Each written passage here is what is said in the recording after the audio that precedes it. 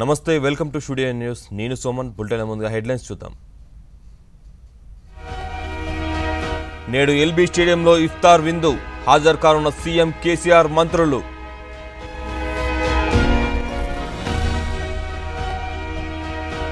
రెండు రోజుల పాటు ఢిల్లీలో జగన్ పర్యటన. పలువురితో సమావేశం కానున్న ముఖ్యమంత్రి.